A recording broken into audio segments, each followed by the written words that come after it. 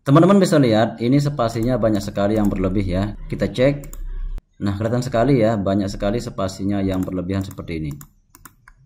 Ataupun data yang kedua kita lihat ya.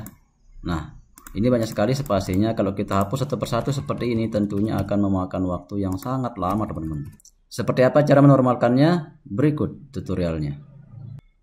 Oke, banyak sekali cara yang bisa kita gunakan untuk menormalkan spasinya. Di sini akan saya bahas dua cara ya.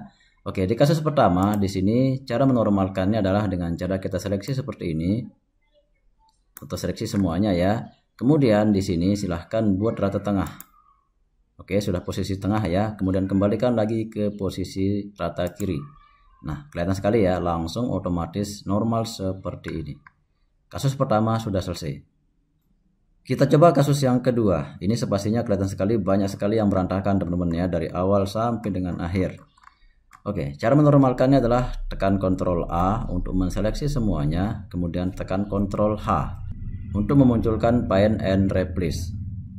Di Find Word silahkan ketikkan panah ada patah seperti ini.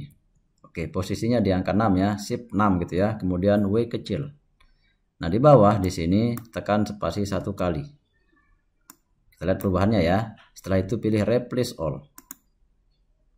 256 spasi sudah dihapus ya. Pilih yes, kemudian oke OK, dan close. Nah, sekarang spasinya sudah normal. Yang tadinya bentuknya seperti ini, sekarang menjadi normal seperti ini. Untuk cara kedua ini bisa digunakan di semua versi.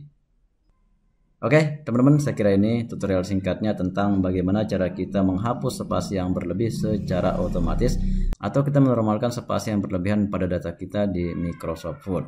Kalau teman-teman suka dengan video ini, jangan lupa di like, di komen, kemudian di share ke sosial media masing-masing supaya semua bisa merasakan manfaat dari tutorial ini.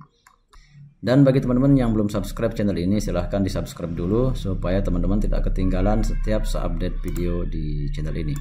Terima kasih atas waktunya untuk menonton. Kita bertemu di tutorial berikutnya. Wassalamualaikum warahmatullahi wabarakatuh.